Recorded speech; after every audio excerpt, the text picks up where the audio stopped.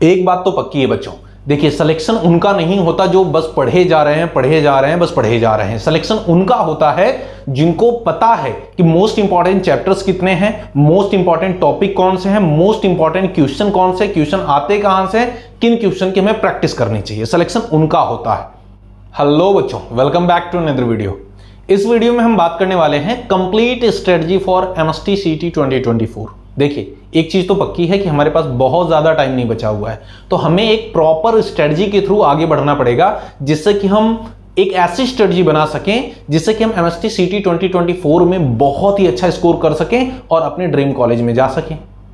क्या अभी भी पॉसिबल है? बिल्कुल पॉसिबल है।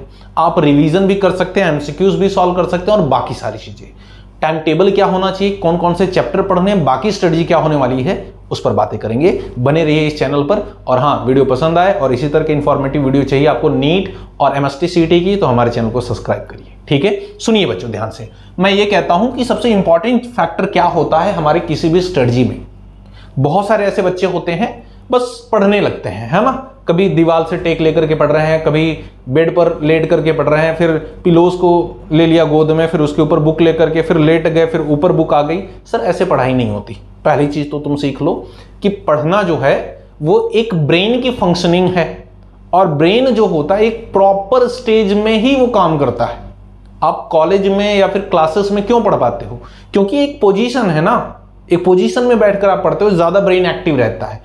अब ऐसा करके हाथ रख लो तुम, ऐसे करके हाथ रख लो, दीवार पर टेक ले लो, फिर क्या पढ़ाई होती है? नहीं होती है, ये आपको भी पता है।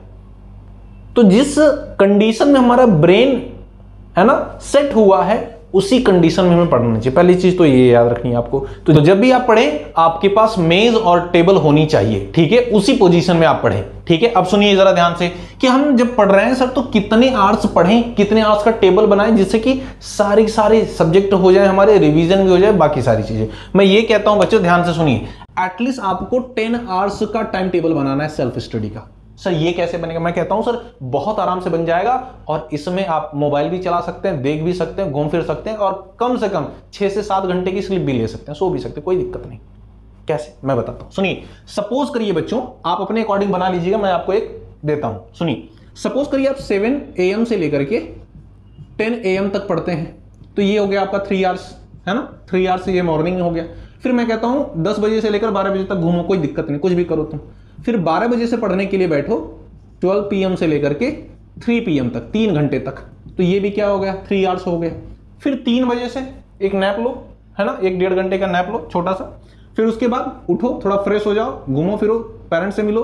फिर उसके बाद सिक्स पीएम से बैठो नाइन पीएम तक। क्लियर ये भी कितना हो गया?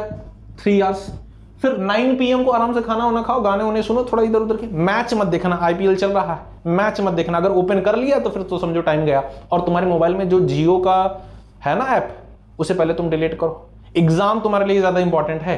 है ना? पहले मैच नहीं। क्योंकि मैच तो वो खेल के पैसे कमा रहे हैं। तुम अपनी लाइफ में क्या कर रहे हो उससे बस मज़े ले रहे हैं सर है ना? ये मज़ा कभी खराब नहीं होता सर ये मज़ा कभी खत्म भी नहीं होता। याद रखना मज़े मज़े में ज़िंदगी के समझ पा रहे हो? जो मैं नहीं कह पा रहा हूँ। सुनिए, आगे क्या होता है?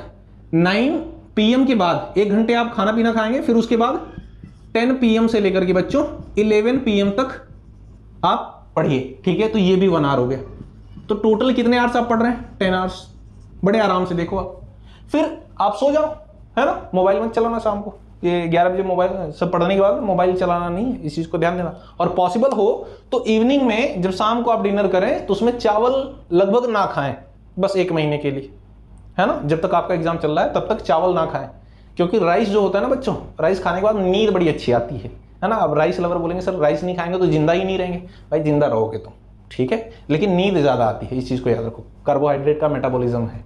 ठीक है? सुनिए जरा ध्यान से। तो ये दस घंटे तो हो गए। इसके बाद आप आराम से सो, लगभग इलेवन थर्टी तक आपको नींद आ ही जाएगी। ठीक है? आराम से पूरे दिन भर थके रहेंगे आप। फिर उसके बाद छह बजे तक आराम से सो, साढ़े छह बजे तक सो। फिर उठ रहे सात बजे से फिर time table start sir classes कब करें? सर क्लासेस जो भी रहेगी आपका दो घंटे करेगा। अपने हिसाब से एडजस्ट कर लो। आपको बहुत सारे टाइम मिल रहे हैं। ठीक है? दस घंटे आप पढ़ रहे हैं, सात घंटे की स्लिप है, कितना हो गया? सत्रह घंटे। ठीक है? डेली एक्टिविटीज़ हो गई दो तीन घंटे की, है ना? आराम से। तुम्हारा बीस घंटे सपोज़ करो, हो गया सब लेकर के। चार घंटे बचते हैं ना, चार घंटे का क्लास हो गया, बहुत है। ठीक है? अब सुनिए, ये हो गया तुम्हारा टाइम टेबल अब दूसरी चीज़ है most important chapter and topics याद रखना, हर एक सब्जेक्ट फिजिक्स केमिस्ट्री और बायोलॉजी सारे चैप्टर्स मत पढ़ना। सारे चैप्टर पढ़ने में तुम टाइम वेस्ट कर दोगे अपना।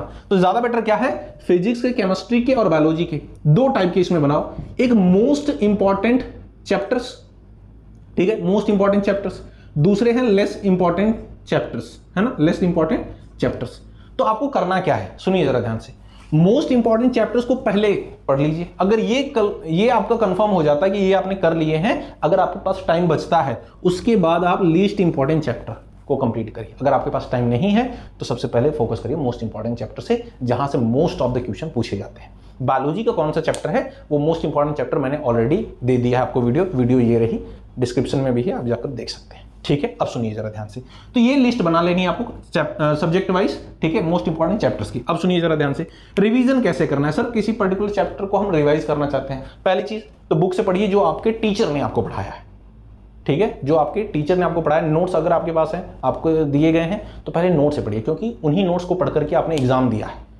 ठीक है? तो वो चीज़ें ज़्यादा होंगी, ज़्यादा अच्छे से रिवाइज होंगी आपको। ठीक है? और फिर भी नहीं समझ में आता है तो वन शॉट देखिए बच्चों। ठीक है? वन शॉट देख लिए वन शॉट आप देखिए और ऐसा वन शॉट देखिए जो लगभग दो से तीन घंटे का ही हो, इससे ज़्यादा का नहीं हो। नहीं तो पता था छह घंटे का तो वन शॉट देख रहा है बेटा, फिर तो नहीं होगा कुछ।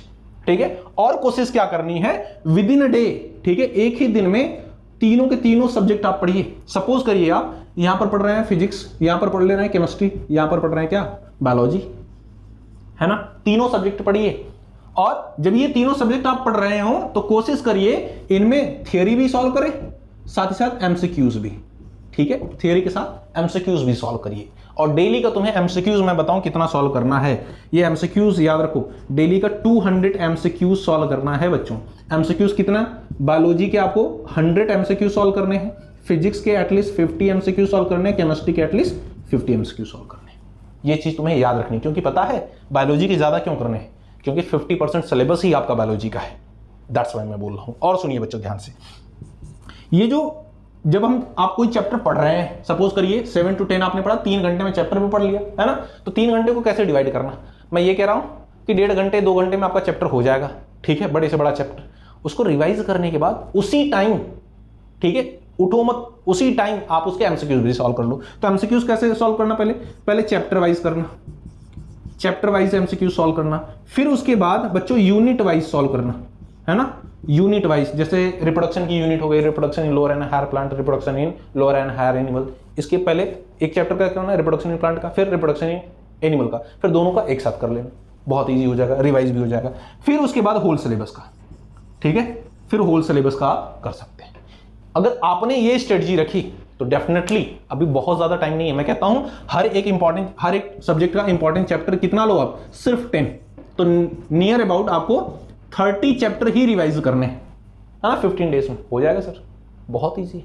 फिर भी अगर कोई बायोलॉजी का इंपॉर्टेंट टॉपिक है जो आपको समझ में नहीं आता, कोई इंपॉर्टेंट चैप्टर समझ में नहीं आता कमेंट सेक्शन में लिखिए। मैं उस पर्टिकुलर टॉपिक पर वीडियो बनाकर आपको प्रोवाइड कर दूँगा। बाकी मिलते हैं आपसे नेक्स्ट वीडियो में एक नई इंफॉर्मेशन के साथ। तब तक के लिए जय हिंद।